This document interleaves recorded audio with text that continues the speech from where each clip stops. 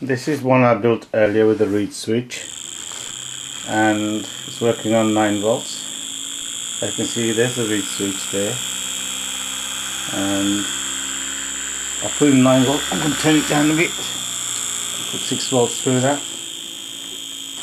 This is the coil I wound. This is my early early little uh, project when I first did it and I put this um, coil on there through these uh, bridge rectifier and through this um,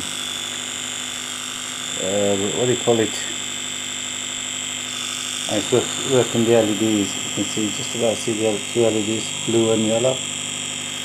Um, Joule thief. There you go if I lift the switch up stop working. It down a bit.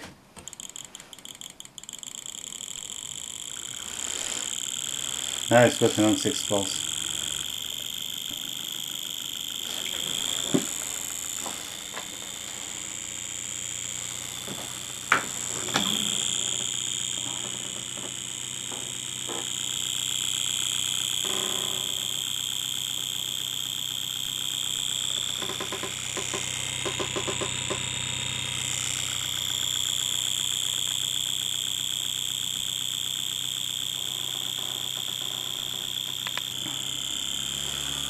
and turning up to 12 volts.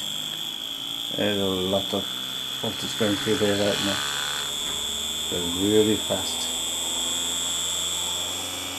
You see the LEDs lighting not quite bright. My reed switch motor um, I've replaced the reed switch with this contraption there as you can see it's working. I'm going to test the voltage from there in a minute see if I get anything. It's not going very fast but uh, adjustment here on the, on this thing here can make it go faster. There you go. I wound this coil on a screw wound it up and that's my reed switch motor